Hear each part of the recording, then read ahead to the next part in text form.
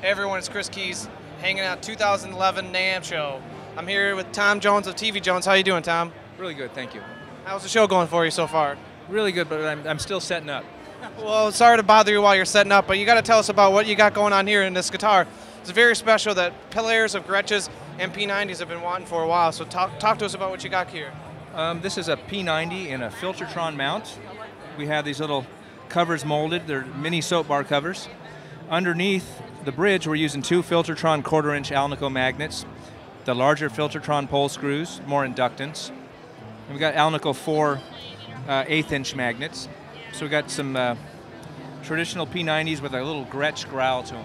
Well, we're going to offer these in about three different of our mount- mounting options. Uh, this is the uh, standard mount, and they're adjustable underneath the ring. There's four points, so you can tip the pickup. We also have the English mount, which is suspended off of a, a Gretsch ring or a Gibson style ring, and uh, no ears mount, so uh, mini mini P90s.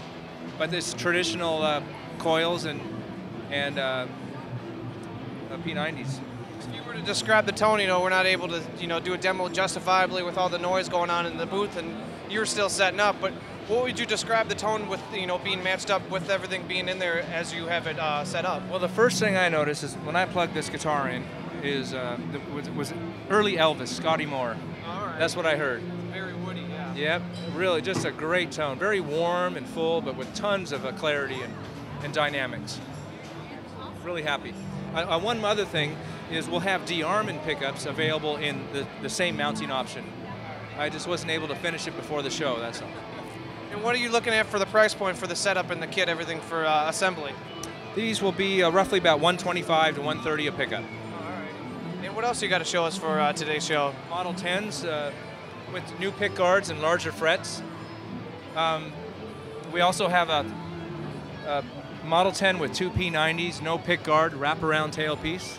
Another thing I couldn't finish for the show, but that'll that'll probably debut in Nashville. And what's different about these pick guards to your prior ones? We have different finish available. I was thinking they were just too uh, black and white, pretty much, so went for some texture. For people that might not know and not haven't seen our videos that we have done with the actual model in action, what would you, would you describe the tone for someone that just wants to know, uh, I guess, verbally how it sounds? What do you describe this? Okay, very transparent. When you dig in with your pick, tons of growl. These are special pickups made only for this guitar, mismatched coils, so tons of fidelity, but a little bit of punch on the bottom. Tom, if everyone wants to find out about the pickup mounts or the guitars themselves, where should they go online? TVJones.com. Excellent. Now, thank you very much for taking the time in the middle of your setup. I appreciate it. Welcome, thank you. All right. This is Chris Kies for PremierGuitar.com, hanging out at the NAMM Show 2011.